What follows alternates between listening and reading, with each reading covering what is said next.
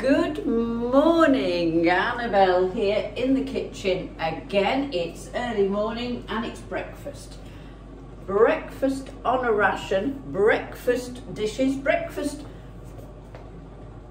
quickies. During the war, the bacon ration was small, so you had to really eke out. So if you wanted bacon for your breakfast, then you had to uh, be sort of very economical with it. Uh, the bacon here in the Netherlands isn't brilliant. They slice it so thin, you can almost see through it. I've asked for it thicker, but they really struggle to do it thicker. So I've ended up buying lardons, which are chopped up fatter bits of bacon. So the first thing I've done is make a batter. That's dead easy. We can all do that. It's the same as pancake batter, but a lot thicker. It's going to be difficult to explain the sort of consistency, but it's a dropping, like a drop scone. I don't know whether you've made it, but it drops. It's not running. It's not running. And the measurements and the weight are all going to be in the cookbook in here, but I'll tell you it all out. It's only small amounts.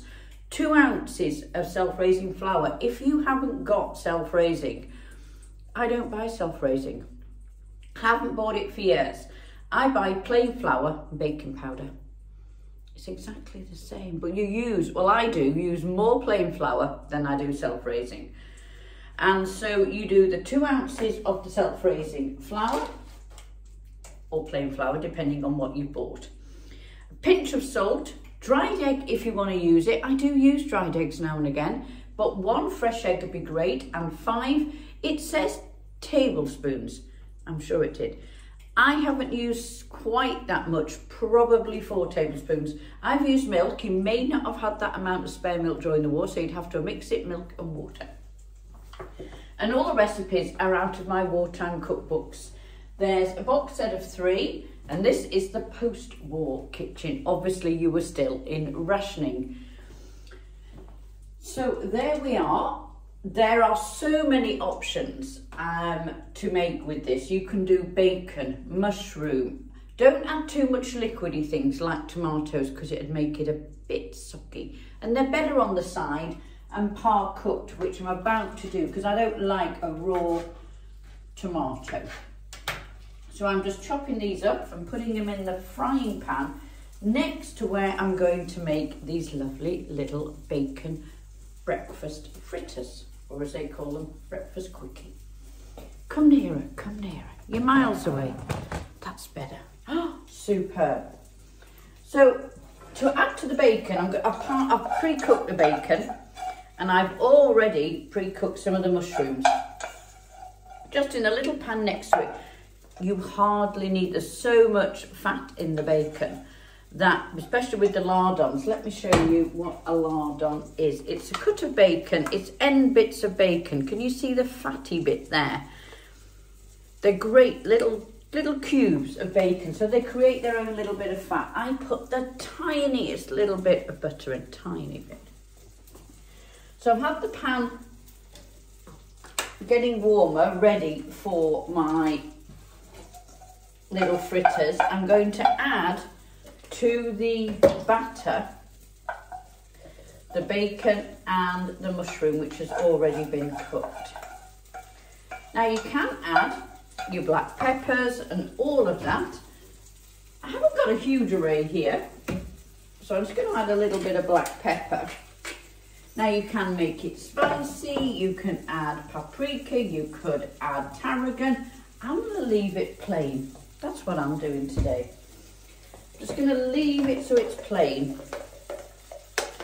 And that's what it looks like, all stirred up. You've got the lumps of the bacon and the mushroom.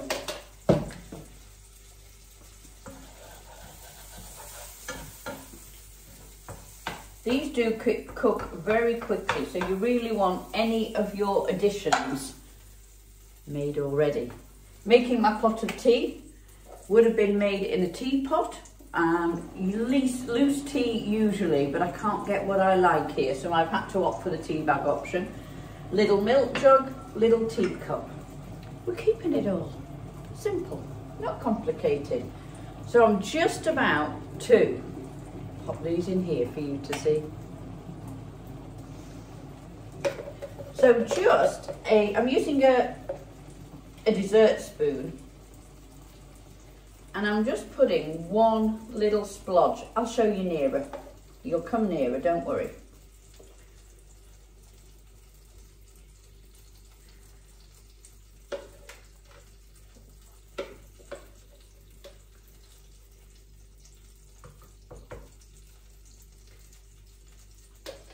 There we are. Come on nearer. The terminology in these books is lovely.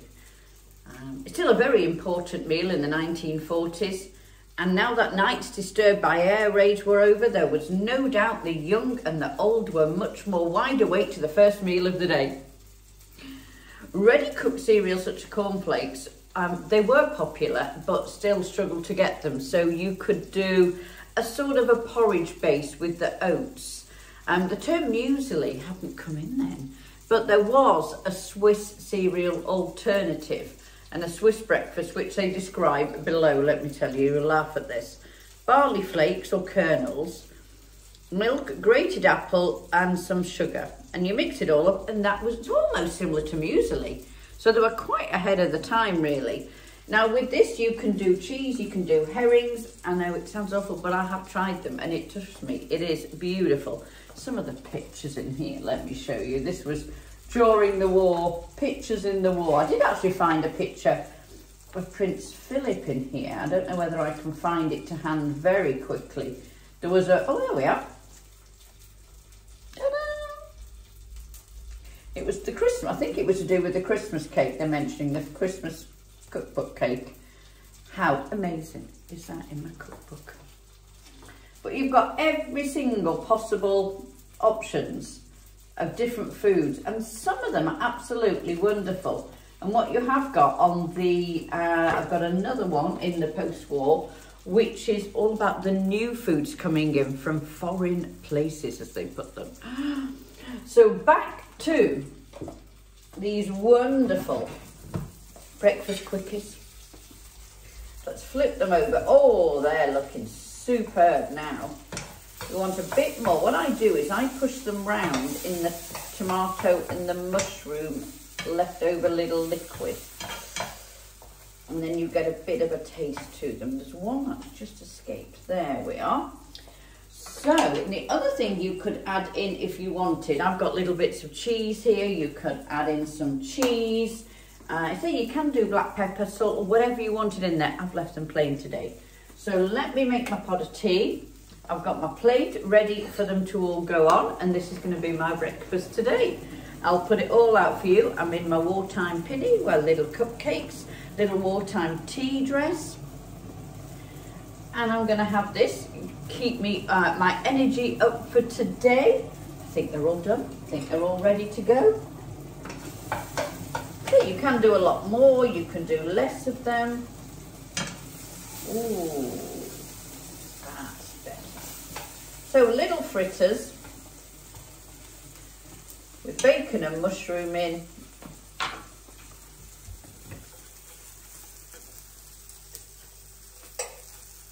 Ready for a busy day.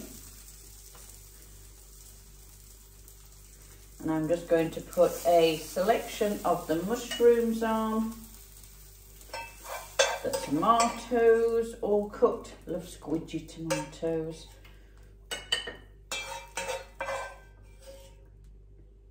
might reserve a bit of black pepper to put on the top.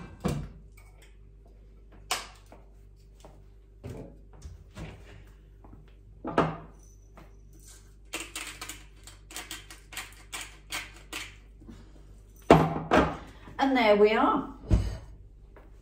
There is breakfast on a plate, wartime style, ready to go. Cup of tea, ready to make.